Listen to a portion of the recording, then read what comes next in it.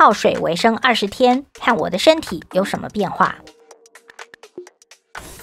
第一次听说净水断食法的时候，我想我疯了才会这样做。但做了一些调查，发现这个方法的好处之后，我改变了主意。现在我站在这儿和大家分享我的二十天净水断食经历。在你进一步了解我这个特别的实验之前，别忘了点击订阅按钮，并打开消息通知，和我们一起加入量生活。一开始，我下决心找到净水断食法的好处，看我找到了什么。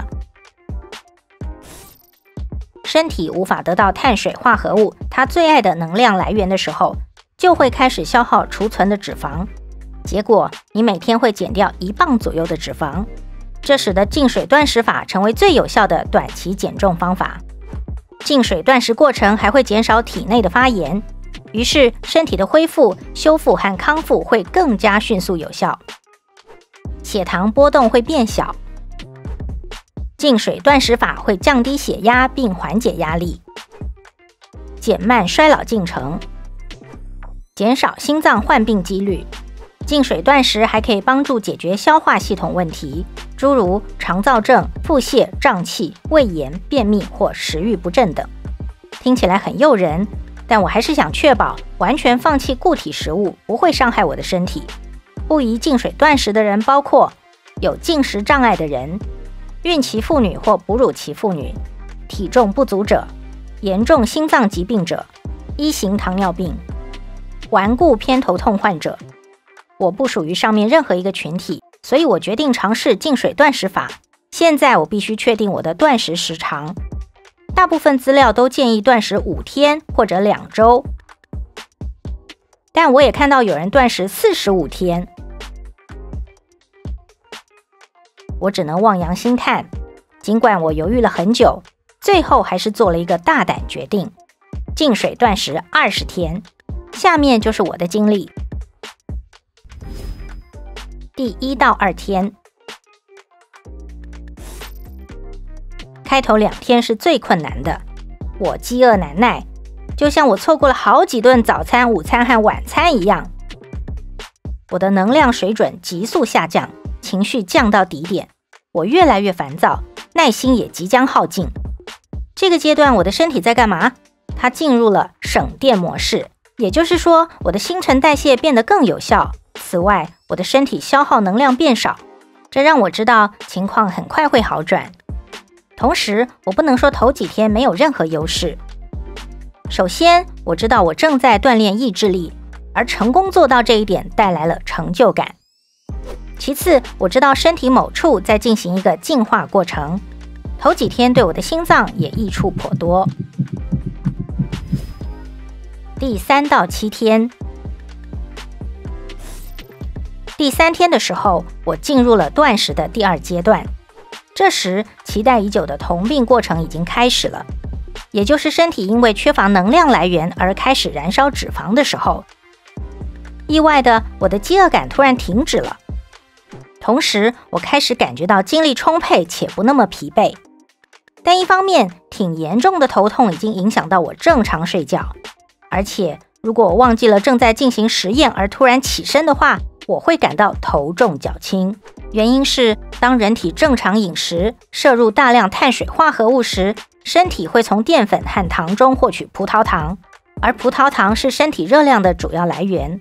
当葡萄糖供应停止时，身体只能将储存的脂肪分解成甘油和脂肪酸。第二阶段的成果就是我的体重开始下降了，这在我身上也产生了一定的解毒作用。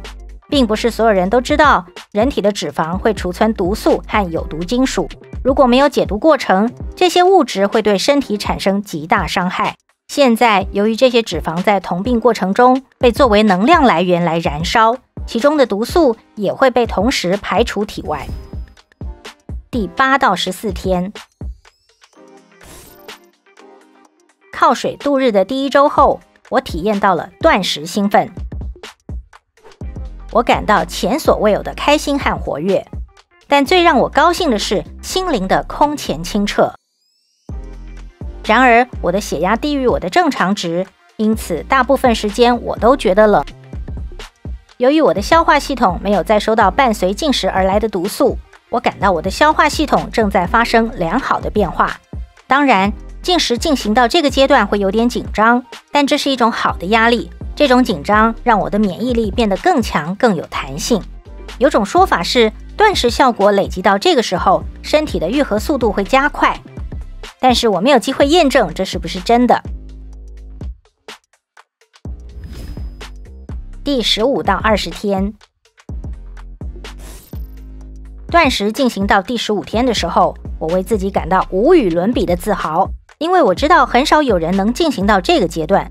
我也很清楚。这个阶段，我需要十分注意我的状态，并且做好看医生的准备。幸运的是，我没有感觉异样。事实上，我非常轻松快活。顺便提一句，很多网站和部落格会建议断食期间限制身体活动，有的甚至建议在家休息。我负担不起这种生活，所以日常生活没什么改变。我每天坐车上下班，工作十个小时，甚至没有放弃健身。当然，我有尝试透过一些不太剧烈的有氧运动来减轻心脏负担，但同时我举重时并没有感觉到身体变虚弱。无论如何，断食第二十一天的时候，我已经准备好结束了。任何一个没有进食近三个礼拜的人，在回归进食的时候都需要很小心。基于这个原因，我选择了从果汁、肉汤和熟烂蔬菜开始恢复饮食。这些帮助我的消化系统做好正常进食的准备。不管你是否相信，进水断食期间，我的状态是有史以来最好的。我减去了一些体重，虽然没有预想的多。我的身体状态很好，而且有些健康异常已经不再那么明显。只有你可以决定是否准备好进行断食，并确定断食的最佳时长。我能给的唯一建议就是做决定之前咨询你的医生。你尝试过断食吗？在评论区和我们分享吧。如果你觉得我的实验有意思，那就给影片点赞，同时和你的朋友分享。别忘了点击订阅按钮，留在亮生活。